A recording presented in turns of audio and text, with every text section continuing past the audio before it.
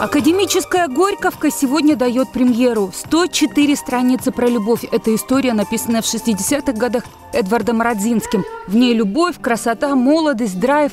Он физик, прагматик и циник. Она стюардесса. Он занимается опытами. Она появляется в его жизни между перелетами. Профессии главных героев были очень актуальными и называется «На пике моды» в годы написания пьесы. Молодые актеры театра имени Горького, занятые в спектакле, верят, их честные и открытые герои будут современны и актуальны и сейчас. Тем более, что тема этого спектакля вечна. Его главный посыл – любите и будьте любимы. Режиссер-постановщик Николай Тимошенко, художник Андрей Климов. Да не любишь ты меня. И вообще, мы абсолютно, мы абсолютно не подходим друг к другу.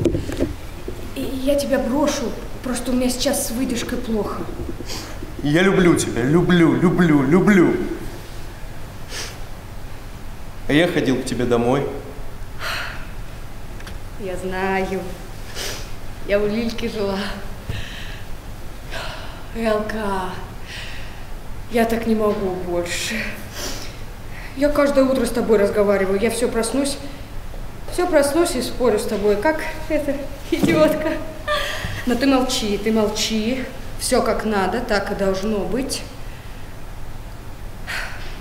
Я люблю тебя.